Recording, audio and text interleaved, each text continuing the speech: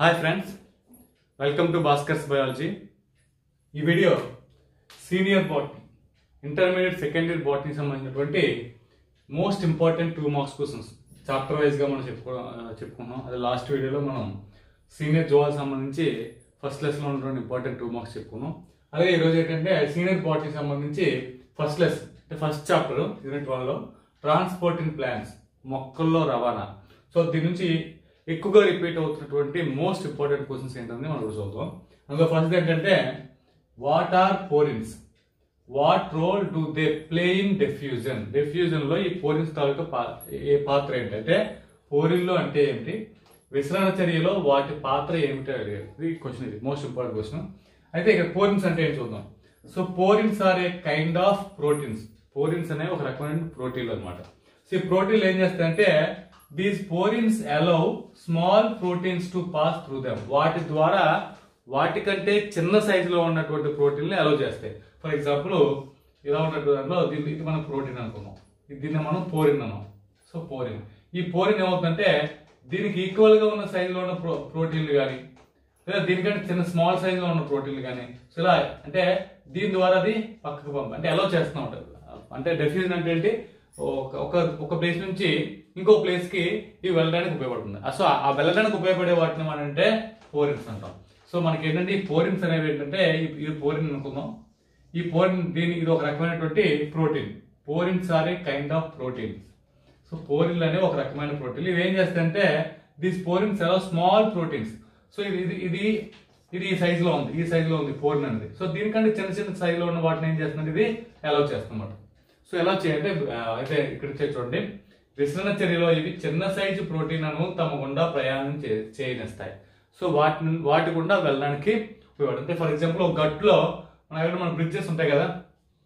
So ఆ చిన్న చిన్న తూములు అంటాం ఇది సో తూము దీని ద్వారా మనకి నీరు ఆ బ్రిడ్జ్ ఆ నది మీద కట్టబడిన తూములు ఏమవుతుంది దాని ద్వారా ఆ వాటర్ అనేది ఎలా చేస్తుంది అనమాట సో రకంగా మనకి ఏమవుతుందంటే ఈ పోరిన్స్ అనేవి porins a kind of proteins ఇది ఫస్ట్ పాయింట్ సెకండ్ పాయింట్ అంటే these porins allow small proteins passes చూద్దాం వాటి గుండా వాటికంటే చిన్న సైజులో ఉన్నటువంటి. సో దీనికంటే పెద్ద సైజు ప్రోటీన్ వచ్చింది అనుకోండి ఇది ఎలా చేయలేదు. ఎందుకంటే పోరింగ్ సైజ్ కంటే ఎక్కువ ఉంది కాబట్టి.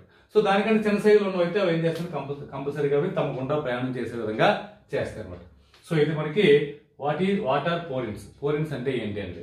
సో సెకండ్ వన్ ఏంటంటే differentiate osmosis from the diffusion so ఇక్కడ మనకి ఏంటంటే ద్రవాభిసరణ ద్రవాభిసరణ విసరణ మధ్య భేదం రెండుకి డిఫరెన్స్ అడిగాడు.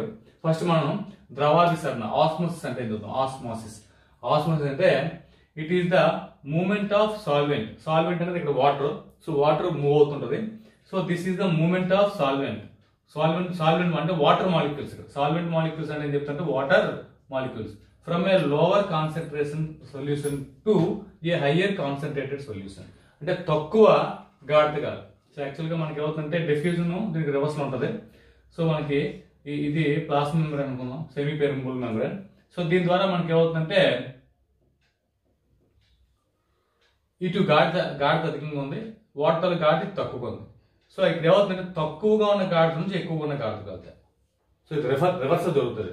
సో ఇది మనకి ఏంటంటే ఈ ఆస్మోసిస్ అంటే it is the movement of solvent solvent అంటే water molecules from a lower concentration solution అంటే lower concentrated solution to a higher concentrated solution అంటే లోవర్ కాన్సన్ట్రేషన్ హయ్యర్ యాక్చువల్గా మనకి ఏమవుతుందంటే హయ్యర్ కాన్సన్ట్రేషన్ లోవర్ కాన్సన్ట్రేషన్కి వెళ్ళాలి.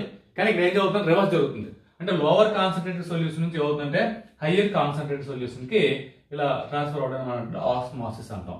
సో దీనికి కొట్టగలిగితే it requires a semi permeable membrane ఇది important semi permeable membrane దీన్ని ఏమంటే ఇది అర్ధ పారగమ్య త్వచం ద్వారా జరుగుతుంది.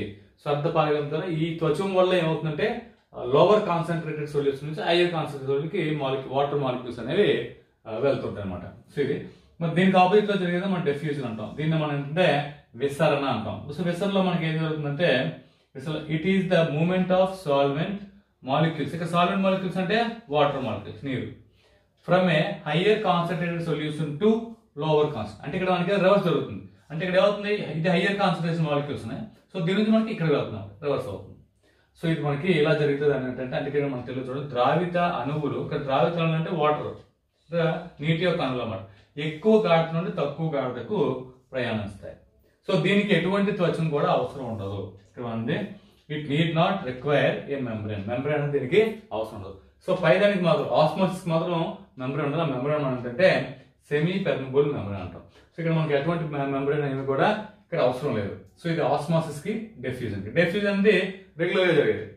ఏం జరుగుతుంది? ఎటువంటి మెంబ్రేన్ లేకుండా హై కాన్సన్ట్రేషన్ జరుగుతుంది లో కాన్సన్ట్రేషన్ వెళ్ళిపోతుంది.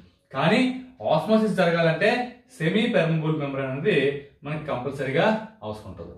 సో ఈ సెమీ పెరంబుల్ మెంబ్రేన్ ద్వారా లోవర్ కాన్సన్ట్రేట్ సొల్యూషన్ నుంచి హైయర్ కాన్సన్ట్రేట్ సొల్యూషన్కి వాటర్ మాలిక్యూల్స్ అనేవి ట్రాన్స్ఫర్ అవుతుంటాయి.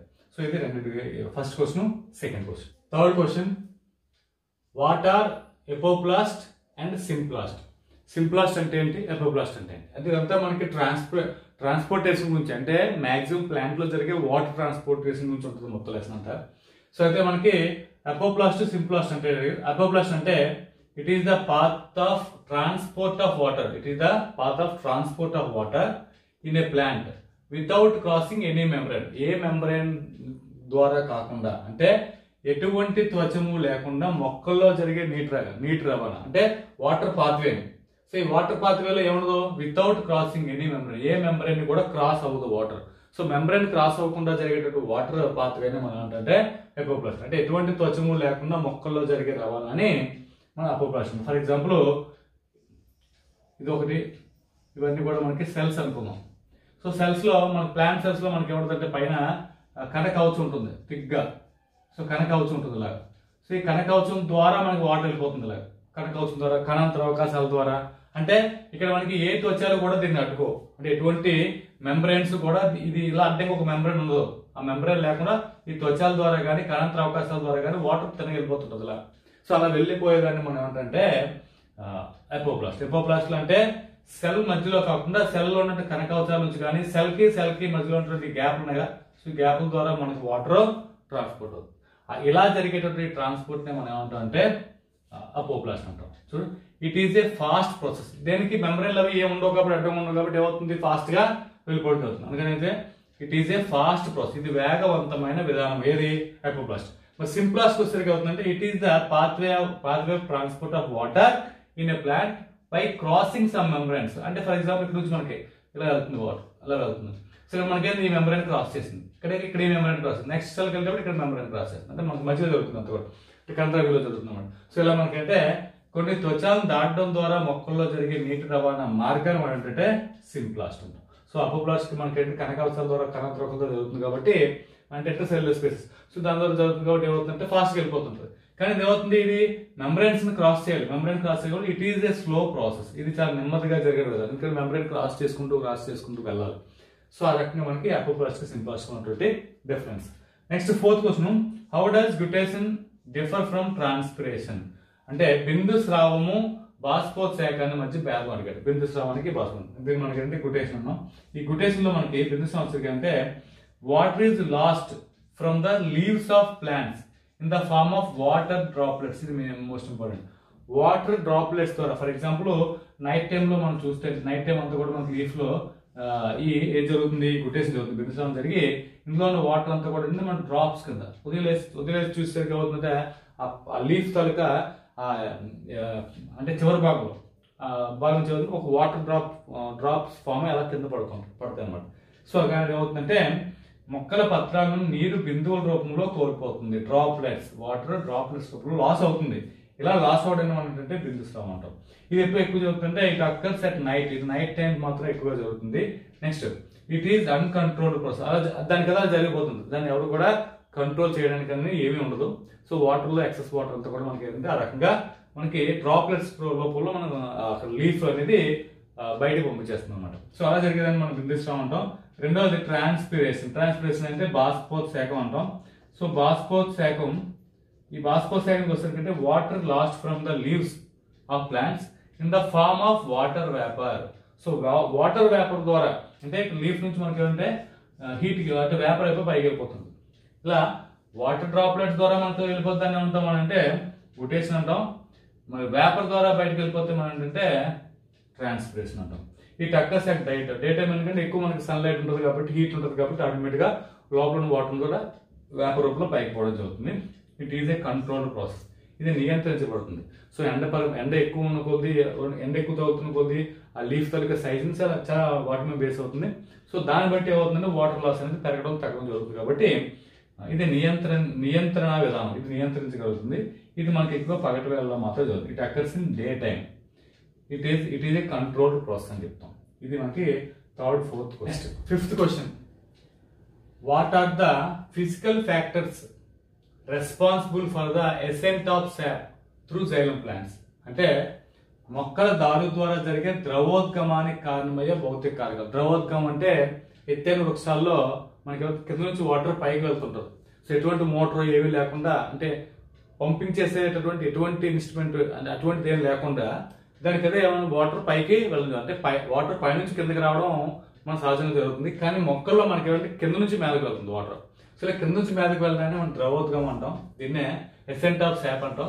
సో ఎసెంట్ ఆఫ్ షాప్ శాప్లో మనకి ఇందులో మెయిన్ త్రీ ఫ్యాక్టర్స్ ఉంటాయి. ఆ త్రీ ఫ్యాక్టర్స్ ఏంటంటే ఒకటి కోయిసన్ రెండు ఎడిసన్ మూడు ట్రాన్స్పిరేషన్ పూల్ ఈ మూడు ఉండడం వల్ల మనకి ఏమవుతుందంటే ఈ కింద ఉన్నటువంటి అంటే వాటర్లో ఉన్నటువంటి కింద సాయిల్లో ఉన్నటువంటి వాటర్ అంతా కూడా మనకి ఏంటంటే ఫస్ట్ కోయిసన్ సంసంజనం అంటే నీటి అణువులు నీటి అణువులు ఆకర్షించుకుంటాం అనుకోట సో నీటిలో అణు నీటిలో ఆకర్షించిన తర్వాత ఎడిసన్ వచ్చేసరికి నీటి అణువులకి మళ్ళీ ఆ దారు జైలం ఏదైతే ఉందో ఆ జైలం తాలూకా వాటికి మధ్య ఉన్నటువంటి అట్రాక్షన్. అంటే నీ అణు నీటి అణువులు నీటి అణువులు అంటుకుంటాయి. నీటి అణువులు మళ్ళీ అవుతుంటే జైలం తాలూకా దారు దారులోకి అది కూడా జరుగుతుంది. దీని ద్వారా మనకి ఏంటంటే పైనుంచి మనకి లీఫ్లో ఏమవుతుందంటే ట్రాన్స్పిరేషన్ జరుగుతుంటుంది. సో ట్రాన్స్పిరేషన్ బయట కదా ఎవాపరేట్ అయిపోయి వాటర్ లాస్ అవుతుంటుంది ఇక్కడ. కాబట్టి ఏమవుతుంది? ఆటోమేటిక్ కింద నుంచి అలా వాటర్ పైకి వస్తుంది అంటే ఇక్కడ మన ట్రాన్స్పిరేషన్ జరిగితే కింద ఉన్న వాటర్ పైకి రావడం జరుగుతుంది అంటే ఇక్కడ ఏమవుతుంది? ఈ ట్రాన్స్పిరేషన్ దీని ఏం చేస్తుంది? పుల్ చేస్తుంది వాటర్ని అందుకని దీని ఏంటంటే ట్రాన్స్పిరేషన్ పుల్ శాఖ ఆకర్షణ. ఇలా బాష్పోత్సేకం జరిగి కింద ఉన్న వాటర్ని పైకి లాగుతుంది.